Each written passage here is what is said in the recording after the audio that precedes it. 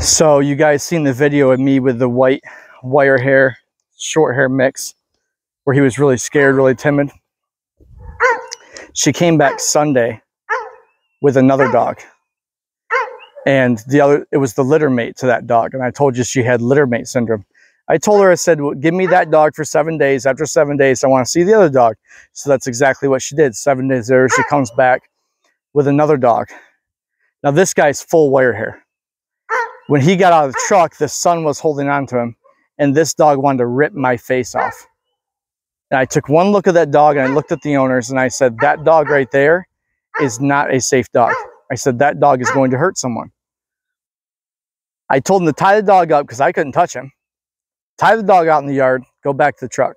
Her son walks over, he ties the dog up, he walks back to the truck, and this dog's attitude completely changed.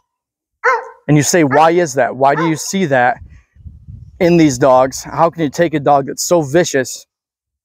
You're the dog whisperer, right? And you turn this dog into something else. No, this dog was scared out of his mind, still is scared out of his mind.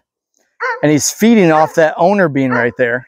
And his owner is his confidence. His owner is his security blanket. His owner is everything to him. That's all he knows. That's all he wants to know. So he's going to protect it, fight against anything that tries to go near it, and kill anything that tries to get in the way of it. This guy was awful. If I would have tried to have shook his owner's hand, he would have ripped my hand off. As soon as they drove down the driveway and left, I walked over to the end of the lead, picked up off the thing and started walking the dog around. He was a completely different dog. Now, he's still scared, right? He's still unsure of himself because now he's got to find himself. I took the owner away. I took the security blanket away. I took all of his confidence and smushed it. So now I'm left with a dog that every single noise that happens, he jumps. Every single thing that moves, he jumps. And he's just scared because his security blanket, his confidence has been taken away. But this is what I see so often in these wire hairs is exactly that. These dogs attach to one person. And most dogs will do that, but wire hairs in general will attach so hard to one person. And I'm not going to say he wasn't socialized. I think they have done fairly good at socializing. They've had people over their house ever since they were puppies all the time. And it's just not until recently that this guy hasn't put up with it. But it's progressively gotten worse. And I always hear that, that same trend. The trend is someone messages me and says, you know, at, at, five months old, he was fine. At six months old, we started having issues. Eight months old, he nipped at a couple people. Now he's a year and a half old. He wants to rip everybody's face off. This has happened time and time and time again. And I think it has a lot to do with these dogs not being confident in their own skin. And that's what this guy is. He'll still bite me. He'll still lash out at me. It took me 10 minutes to get him out of his kennel. He stood by his kennel door, looked like he wanted to rip my face off still. But now that we're out, now he's better. You wagging your tail yet? You're not really wagging your tail yet. But he's a lot better. So I'm going to have him for seven days now. And this owner is going to have to make a decision because I don't think she can keep both dogs. And we've already talked about that. One dog has to go because this dog and the other dog keep getting into fights. Somebody's going to get hurt. Somebody's going to get bitten by this dog. And it's not going to be a little bite. It's going to be a severe bite. This dog will attack someone. Guarantee you.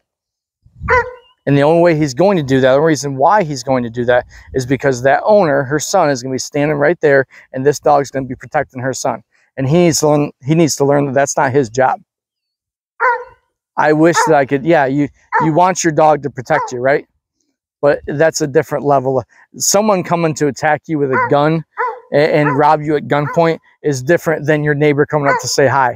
The dog's got to be able to know the difference right? You say, oh, dogs aren't that smart. This dog knows that difference. He needs to learn that neighbors aren't a problem.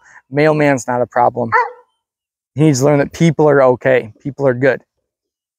He doesn't know that. Scared to death of everything. Buck, come here. So we got a 90 pound dog that can lash out at any minute and do some major damage that's scared of everything. Why am I face to face with them? I don't know. Because I want to give him a chance. I really do. I think he's got a chance.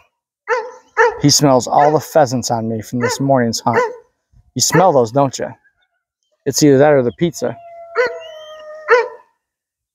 I feel like both of these dogs have a chance. I feel like the white one river has a little bit better chance of, of being a good family dog.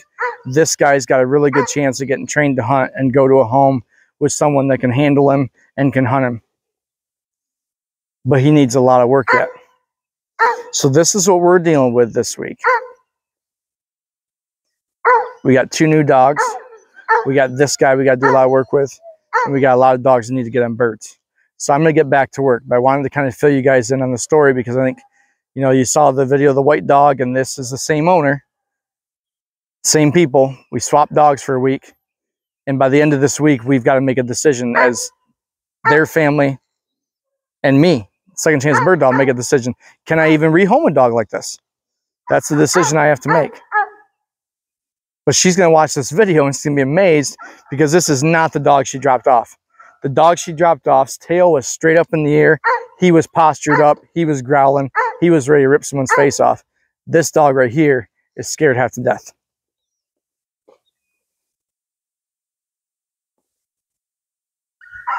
So we've got we've got our work cut out for us. So we're gonna get to work. We're gonna let you guys go, and we will see you soon. Thanks.